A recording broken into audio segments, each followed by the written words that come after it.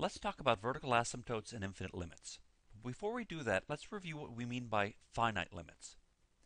If I write that the limit of a function is at, the limit as x approaches a from above of f of x is L, we're talking about what happens when x is slightly, slightly bigger than a.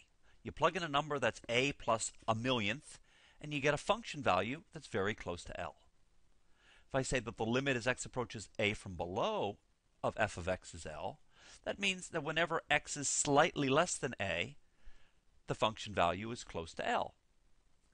And if I tell you that the limit as x approaches a of f of x is L, that means that we're interested in both of these situations. Whenever x is close to a but not equal to a, in other words, when it's either slightly bigger or slightly smaller, then f of x is approximately L. What we're going to talk about today is when we have situations where we don't have finite limits but infinite limits.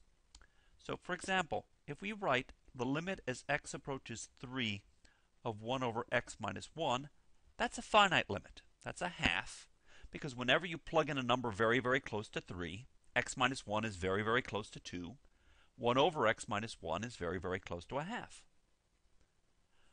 But what do I mean if I write limit as x approaches 1 from above of 1 over x minus 1? We're talking about what happens when x is slightly bigger than 1. If x is slightly bigger than 1, x minus 1 is slightly bigger than 0. So we got 1 divided by a tiny positive number, and that gives us a huge positive number. And our notation for that is that the limit is plus infinity. So let's see what that means in pictures. In pictures, if you look at the curve y equals, so we're going to draw the curve y equals 1 over x minus 1. And whenever you put in a, a value that's a little bit bigger than 1, you get a big number. If you put in a number that's cl slightly closer to 1, you get a bigger number and a bigger number and a bigger number. And so the curve winds up hugging this vertical line, the vertical line x equals 1. Likewise, if you put in numbers that are slightly less than 1, you wind up getting reciprocals of tiny negative numbers. And so those are gigantic negative numbers. So we have a vertical line here that our curve is getting closer and closer and closer to. It's hugging that vertical line.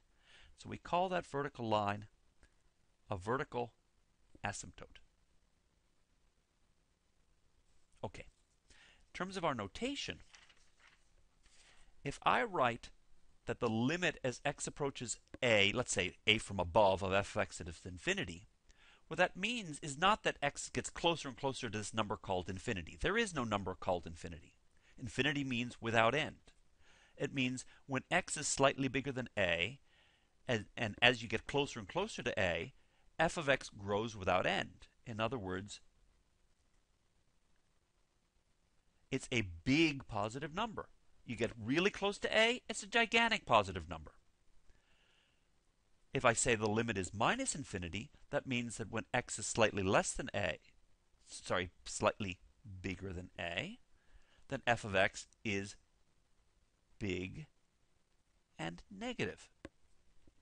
So that's what we mean when we say the limit is plus infinity or minus infinity. And we have a vertical asymptote at x equals a whenever the limit as x approaches a from above of f of x is either infinity or minus infinity, or the limit as x approaches a from below of f of x is infinity or minus infinity. If any of these things happen, you've got the curve screaming up to infinity or crashing down to minus infinity. It's either going up through the roof or down through the floor, and you get a vertical line that the curve is getting closer and closer and closer to. So what we're going to do next time is we're going to see how do you get functions, what kind of functions actually have vertical asymptotes.